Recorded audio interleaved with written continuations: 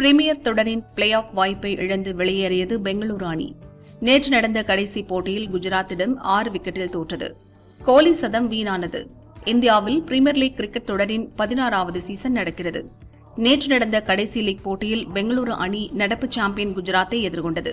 இதில் வென்றால் மட்டுமே பிளே ஆஃப் செல்ல முடியும் என்ற இக்கட்டான நிலையில் களமிறங்கியது பெங்களூரு அணி. ஆனால் மழை ஈரமான ஆடுகளும் காரணமாக போட்டி ஒரு மணி நேரம் தாமதமாக துவங்கியது.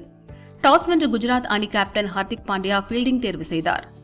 பெங்களூரு அணிக்கு கேப்டன் டுப்ளசி கோலி ஜோடி நல்ல துவக்கம் கொடுத்தது. இருவரும் பவுண்டரி மழை பொழிய ஸ்கோர் மின்னல் வேகத்தில் உயர்ந்தது. முதல் விக்கெட்டுக்கு அறுபத்தி ஏழு ரன் சேர்த்தபோது நூர் அகமது பந்தில் டுப்ளசி இருபத்தி எட்டு ரன்னில் அவுட் ஆனார். பின்வந்த மேக்ஸ்வெல் ரசித் கான் சுழலில் பதினோரு ரன்னில் சிக்கினார். லாம்ரர் ஒரு ரன் மட்டும் எடுத்த நிலையில் நூர் அகமது பந்தில் ஸ்டம்ட் ஆனார். பிரேஸ்வெல் இருபத்தாறு ரன் எடுக்க தினேஷ் கார்த்திக் டக் அவுட் ஆனார். கோலி அறுபதாவது பந்தில் சதமெட்டினார். பெங்களூரு அணி இருபது ஓவரில் ஐந்து விக்கெட்டுக்கு நூற்று தொன்னூற்றி ஏழு ரன் எடுத்திருந்தது. கோலி நூற்று ஒன்று ராவத் இருபத்தி மூன்று ரன் எடுத்து அவுட் ஆகாமல் இருந்தனர். குஜராத் அணிக்கு சகா பனிரெண்டு ரன்னில் ஆட்டமிழந்து ஏமாற்றினார். சுப்மன் விஜய் சங்கர் இணைந்து சிறப்பான ஆட்டத்தை வெளிப்படுத்தினர். இரண்டாவது விக்கெட்டுக்கு இந்த ஜோடி நூற்றி இருபத்தி மூன்று ரன் சேர்த்தது. இந்நிலையில் அரை சதம் கடந்த விஜய் சங்கர் வைசாக் பந்தில் ஐம்பத்து மூன்று ரன்னில் அவுட் ஆனார்.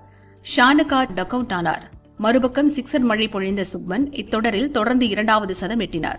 முடிவில் குஜராத் அணி பத்தொன்பது புள்ளி ஒரு ஓவரில் நான்கு விக்கெட்டுக்கு நூற்று தொன்னூற்றி எட்டு ரன் எடுத்து வெற்றி பெற்றது. சுப்மன் ஐம்பத்தி இரண்டு பந்தில் நூற்று நான்கு ரன் எட்டு சிக்ஸர் ஐந்து பவுண்டரி. டிவாட்டியா அவுட் ஆகாமல் இருந்தனர்.